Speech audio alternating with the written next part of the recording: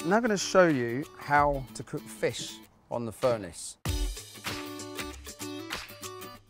I want to cook this fish so its skin is crisp on one side, but the flesh is cooked more gently. But to do that, what I've done is replaced the middle grill plate with a teppanyaki plate. I've oiled this already just to season it, but sometimes I think it works quite well with just to season the actual fish itself.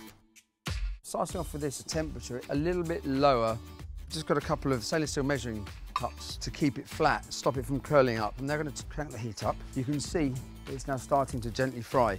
By putting the fish on that temperature and then increasing it, it will be less of a shock to the skin and make the skin nice and crisp.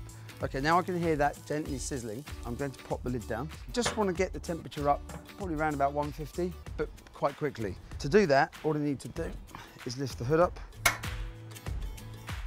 So I've just turned on the burner here, which will boost up the temperature. That's now crisping nicely on the skin side. And now the air temperature is building up nicely. I'm getting a convection current going as well. So when this gets up to about 220, I'm going to turn these off. It's really as simple as that. And that's the beauty of being able to manage heat that's coming from underneath. So you can get this lovely